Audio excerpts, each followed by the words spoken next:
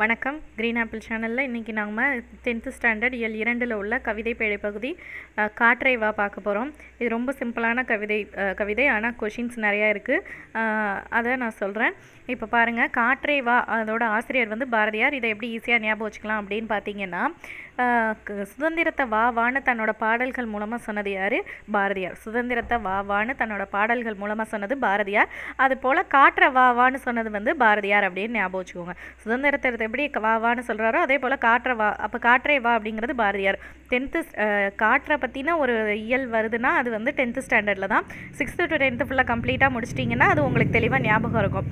அப்போ அதில் காற்றுங்கிற தலைப்பிலேயே வர்ற வர்ற ஒரே பாடல் பார்த்தீங்கன்னா இந்த க- காற்றே வா இந்த பாரதியாரோடது தான். அப்போ காற்றை வா அப்படின்னு கூப்பிட்றது பாரதியார் அப்படிங்கிறது ஈஸியாக ஞாபகம் இருக்கும். அடுத்து பாருங்கள் நுழையும் முன்ன ஒரு கொஷின்ஸும் இல்லை. இருந்தாலும் நீங்கள் கவனிச்சுக்க வேண்டியது எப்படி நீரின்றி அமையாது உலகு அப்படி- அப்படின்னு சொல்கிறாங்களோ திருவள்ளுவர் சொன்னது நீரின்றி அமையாது உலகு. அப்படி சொல்கிறாங்களோ அதே போல் காற்றின்றி உயிர் இயக்கம் அமையவே அமையாது. உயிர் இயக்கம்னா உயிர்களோட இயக்கம். அதாவது வாழ்கிற இயக்கம். அந்த உயிர்கள் உயிர்களோட இயக்கம் வந்து உயிர்களோட இயக்கத்துக்கு அடிப்படை காரணம் வந்து காற்று தான். நீர் இல்லாமல் எப்படி உ- உயிர் வா நீர் இல்லாமல் உலகம் எப்படி அமையாதோ அதே போல் காற்று இல்லாமல் உயிர்களோட இயக்கம் அமையாது அப்படின்னு சொல்கிறாங்க அதை மட்டும் ஜஸ்ட் பார்த்துக்கோங்க. மற்றபடி அது கொஷின் கிடையாது. அடுத்தது பார்த்தீங்கன்னா பாட்டு பார்த்துடலாம். பாட்டு வந்து ரொம்ப சிம்பிளாக இருக்கும். படிக்கும்போதே உங்களுக்கு அதோட மீனிங் புரியும். மூணே மூணு சொற்பொருள் தான். அந்த மூன்று சொற்பொருளையும் பாடல் பார்க்கும்போது சொல்கிறேன் அதே போல் இந்த லைன்ஸை எப்படி ஈஸியாக ஞாபகம் வச்சுக்கலாம் அப்படிங்கிறதையும் சொல்கிறேன் காற்றே வா மகர்ந்த தூளை சுமந்து கொண்டு மனத்தை மனதை மயிலுறுத்துகின்ற இனிய வாசனையுடன் வா. காற்றை பாரதியார் கூப்பிட்றாரு. மகரந்த தூளை சுமந்து கொண்டு மகரந்த தூள்ங்கிறது பூக்களுக்கு நடுவில் இருக்கும். அந்த மகரந்த தூள் வந்து காற்று வீசும்போது தானாகவே என்ன பண்ணும்? ஒரு இடத்த விட்டு இன்னொரு இடத்துக்கு இடம்பெயரும். அதுதான் சொல்கிறாரு க மகரந்த தூளை சுமந்துக்கிட்டு வர்ற மாதிரி மனதை மயிலுறுத்துகின்ற இனிய வாசனையோடையும் வா மயலுறுத்துகின்ற அப்படின்னா மயலுறுத்தும்னா அஹ், மயங்க செய்கின்ற மூணு சொற்பொருளில் முதல் சொற்பொருள் மனதை ம- ம மனதை மயக்குகின்ற. ஈஸியாக ஞாபகம் இருக்கும் இது. அந்த அது வாசனையோட வா. இலைகளின் மீதும் நீர் அலைகளின் மீதும் உராய்ந்து மிகுந்த பிராணரசத்தை எங்களுக்கு கொண்டு வா. பிராணரசம்னா உயிர் வலி. இதை எப்படி ஞாபகம் வச்சுக்கலாம்னா பிராணன் பிராணனை வாங்காத அப்படின்னு சொல்லுவாங்க. உயிரை வாங்காத அப்படின்னு திட்டும்போது சொல்லுவாங்க. இப்போ பிராணரசம்னா உயிர் வலி அப்படிங்க உயிர் வாயு உயிர் வலிங்கிறத ஞாபகம் வச்சுக்கோங்க. எங்களுக்கு கொண்டு வா. இலைகள் மீது நீர் அலைகள் மீது உராய்ந்துக்கிட்டு எங்களுக்கு மிகுதியான உயிர் வலியை கொண்டுகிட்டு வா அப்படின்னு காற்றை கூப்பிடுறாரு. இதில் காற்றே வான்னு இந்த இந்த லைன் வந்தால் கண்டிப்பாக உங்களுக்கு ஞாபகம் இருக்கும். இது வந்து காற்றே வாவில் உள்ள இன்னும் ஒரு லைன் தான் பாரதியார் ஆசிரியருங்கிறது. மகரந்த தூளை சுமந்து கொண்டு மனதை மயிலுறுத்துகின்ற இனிய இனிய வாசனையுடன் வாங்குற போது மகரந்த தூளை சுமந்துக்கிட்டு வா வாசனையோட வாணி எதை கூப்பிடுவோம். காற்றை தான் கூப்பிடுவோம். அதுவும் ஈஸியாக ஞாபகம் இருக்கும். அது மட்டும் இல்லாமல் இலைகளின் மீது நீர் அலைகளின் மீது உராய்ந்து மிகுந்த பிராணரசத்தை எங்களுக்கு கொண்டு வா. பிராணரசம்னா உயிர் வழின்னு படித்து வச்சுருந்தீங்கன்னா கண்டிப்பாக இது காற்றை வாழ உள்ளது தான் அப்படிங்கிறது தெரியும். காற்றேவா எனது உயிர் நெருப்பை நீடித்து நின்று நல்லோரி தருமாறு நன்றாக வீசு. வீசுங்கிற வார்த்தை வந்தாலும் இது காற்றை வாழ உள்ளதுன்னு ஞாபகம் வச்சுக்கோங்க. ஏன்னா காற்றை தான் நல்லா வீசு நல்லா வீசுது அப்படின்னெல்லாம் சொல்லுவோம். அப்போ கா எனது உயிர் நெருப்பை நீடித்து என்னோட உயிர் வந்து உயிர் நெருப்பை வந்து நல்லொளி தருமாறு நீடித்து நிலைக்கணும்னா நீ நல்லபடியாக வீசு அப்படின்னு சொல்கிறாரு அடுத்து சக்தி குறைந்து போய் நீ அதற்காக சக்தி குறைஞ்சி போய் அதனை அவி அவித்து விட்டுறாத. பேய் போல வீசி மடித்து விட்டுறாத. பேய் போல வீசி கொண்டுடாத கொன்னுடாத. நல்ல லயத்துடன் நெடுங்காலம் நீடித்து நின்று வீசிக்கொண்டிரு. நல்ல லயத்துடன் லயத்துடன் அப்படின்னா சீராக. இப்போ மூணுது மயலுறுத்துகின்றன மயங்க செய்கின்றன பிராணரசம்னா ம், உயிர்வலி லயத்துடன்னா சீராக. லயத்துடன்கிற வார்த்தை ரொம்ப இம்பார்ட்டன்ட் சீராக. அப்போ மூணு சொற்பொருளும் நம்மளுக்கு ஞாபகம் இருக்கும். மெதுவாக வீசு. இதில் இம்பார்ட்டன்ட் லைன் இதுதான். சக்தி குறைந்து போய் அதனை அவித்து விடாதே பேய் போல வீசி அதனை மடித்து விடாதேங்கிறது இம்பார்ட்டண்டான லெசன் பேய் போல வீசி வீசினா காற்று அப்படின்னு ஞாபகம் வச்சுக்கோங்க. வீசுறது காற்று. பேய் மாதிரி வீசி அதை மடிச்சும் விட்டுறாத.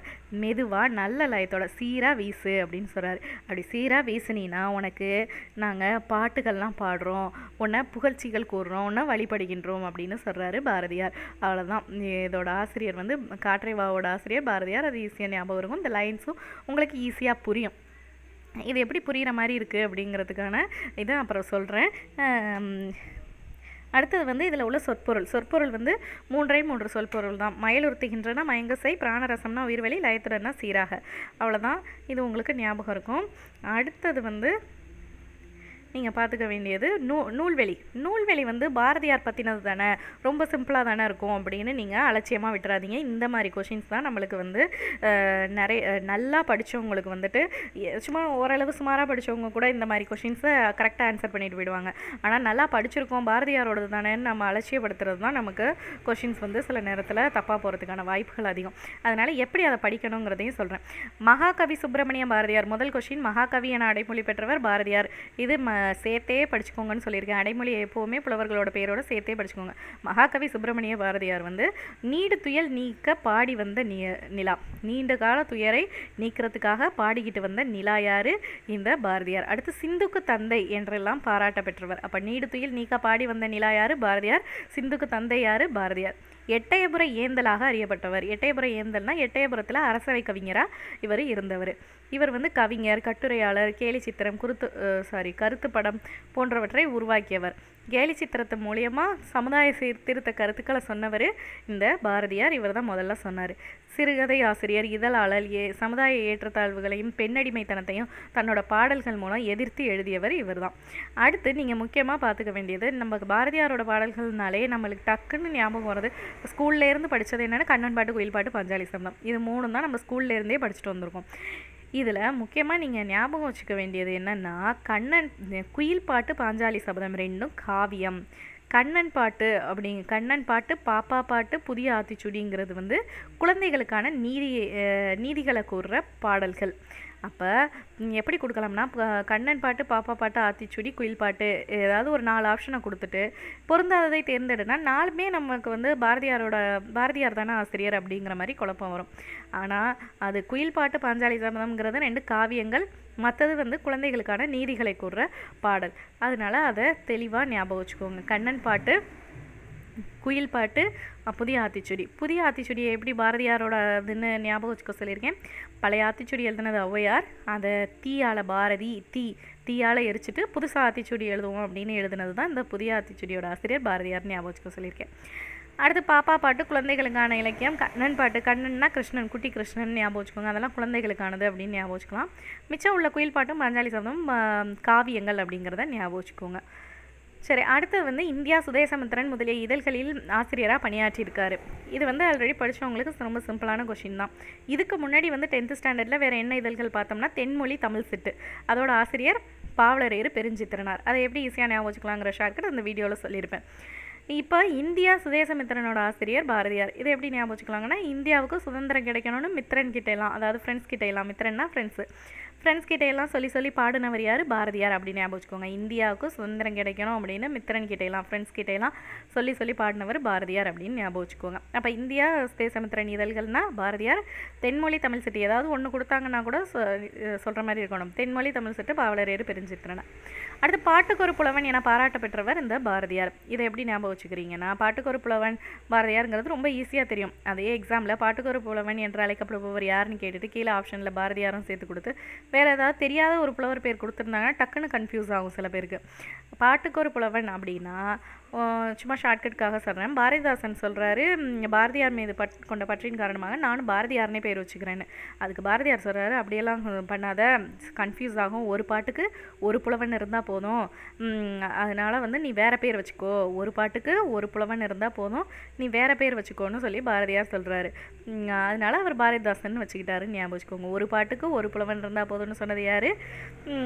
பா பாரதியார். அப்போ பாட்டுக்கு ஒரு புலவன் வந்து பாரதியார். இவருடைய கவிதை தொப்பில் உள்ள காற்றுங்கிற தலைப்பில் வந்த வசன கவிதை தான் இங்கே கொடுத்துருக்காங்க.